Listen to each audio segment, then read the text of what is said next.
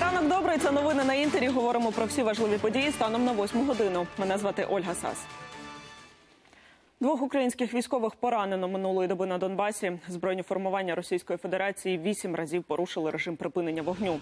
З них чотири рази із застосуванням заборонених мінськими угодами артилерійських систем. Ворог також обстрілював українських захисників з озброєння бойових машин піхоти, гранатометів, великокаліберних кулеметів та стрілецької зброї. І від початку цієї доби окупанти чотири рази обстріляли позиції об'єднаних сил. Найманці били поблизу водяного, Красногорівки і Травневого.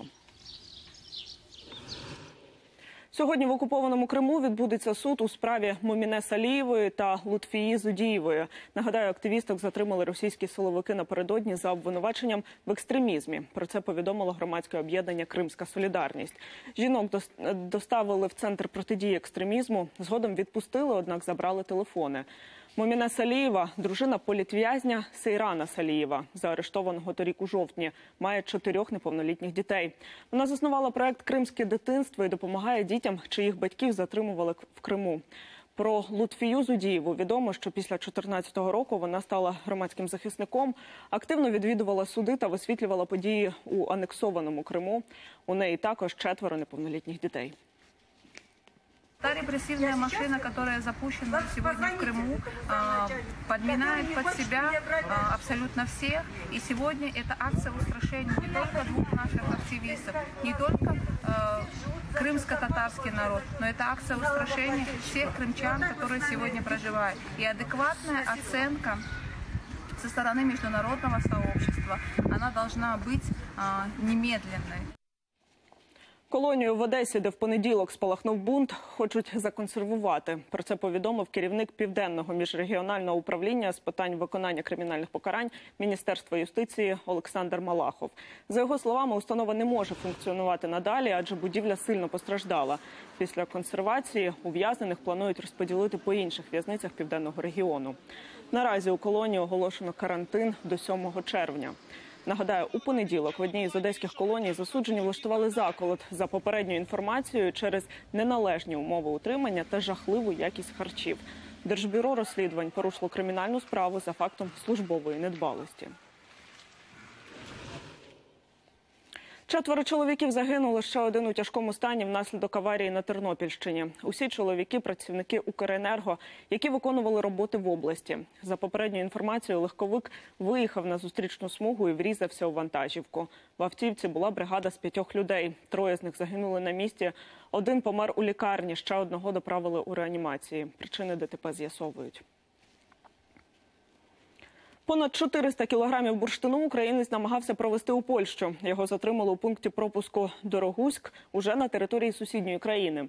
Партію попередньо оцінили в майже 2 мільйони євро. Янтар був упакований в мішки, що лежали серед іншого легального товару. Водій заперечує спробу контрабанди. каже, нічого не знав про незаконний вантаж. За словами польських митників, це рекордна партія вилученого ними сонячного каменю. Три роки з дня трагедії на найбільшому в Україні сміттєзвалищі. 30 травня 2016-го на Грибовицькому полігоні загинуло троє рятувальників та працівник місцевого комунального підприємства. Чи покарали винуватців? З'ясовувала Христина Гашенко. 29 травня 2016-го. Грибовицьке сміттєзвалище. Пожежу, яка поширилася на 2 кілометри, гасять 65 рятувальників. Добу. За кілька годин купа непотребу обвалюється на трьох пожежників. Їхні тіла знайшли майже одразу. А от працівника комунального підприємства, якому належить звалище, ні.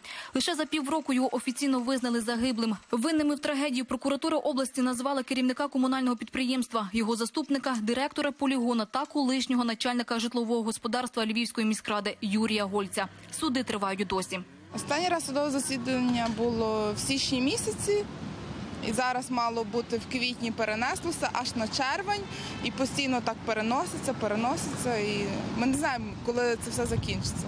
Про трагедію на Грибовицькому сміттєзвалищі сьогодні нічого не нагадує. Поросла трава серед сміття свідчить, що непотріб сюди давно не завозять. Звалище закрите. Майже три роки посадовці обіцяють провести рекультивацію, та все ніяк не зберуться. Екологи тим часом виписують штрафи, але їх не сплачують.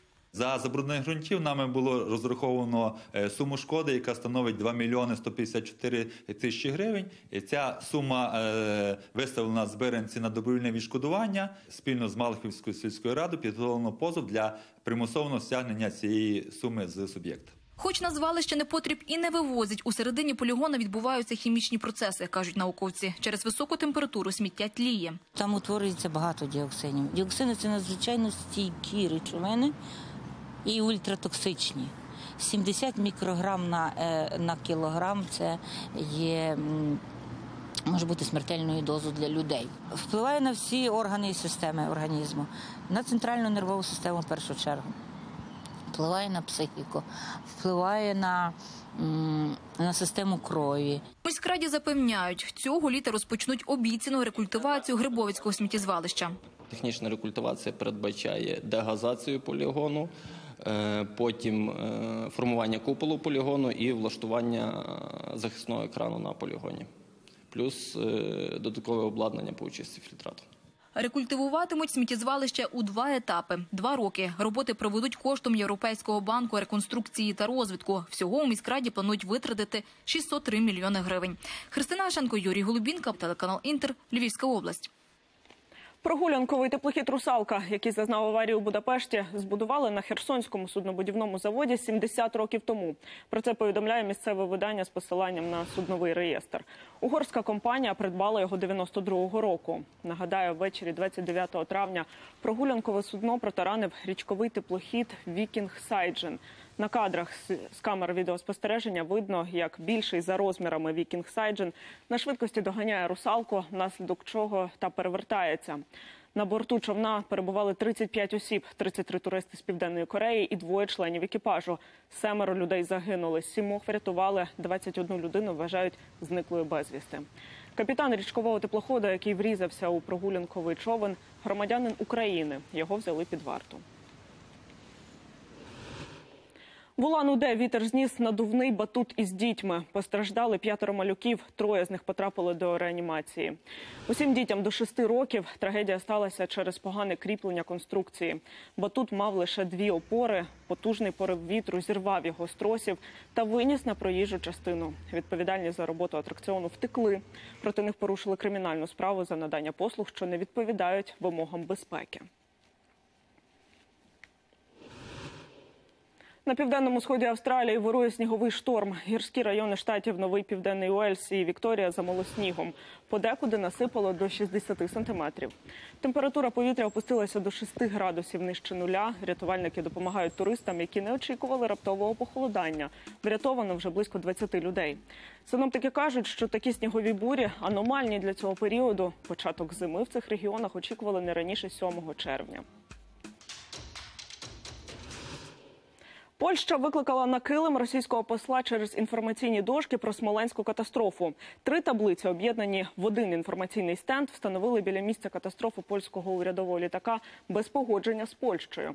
На них містяться загальні дані про трагедію, а також російська версія її причини. У МЗС Польщі вимагають негайно прибрати стенд і натомість розпочати виготовлення пам'ятника жертвам катастрофи, який має бути встановлений на місці аварії. Нагадаю, літак із президентом Поль- Польщі Лехом Качинським на борту розбився у Смоленську у 2010 році через вибух. Австрійський уряд уперше очолить жінка. Після відставки канцлера Себастьяна Курца його обов'язки тимчасово виконуватиме 69-річна Брігітте Бірляйн. Раніше вона очолювала Конституційний суд Австрії. Посаду віце-канцлера та міністра юстиції обійме колишній голова Конституційного суду. Бірляйн виконуватиме обов'язки канцлера до проведення дострокових парламентських виборів, які відбудуться у вересні. У берлінському зоопарку народилася тріння рідкісних золотисних, золотистих такінів. Про це повідомляє прес-служба звіринця. Дитинчата, два хлопчики і дівчинки разом з батьками зацікавлено досліджують усе довкола. Золотисті такіни перебувають під загрозою зникнення, тож занесені в міжнародну червону книгу. Цей вид водиться в бамбукових лісах на висотах від 2 до 4,5 тисяч метрів, зокрема в горах північного сходу Індії, Тибету, Непалу та Китаю. Про існування китайських такінів стало відомо лише 1911 року.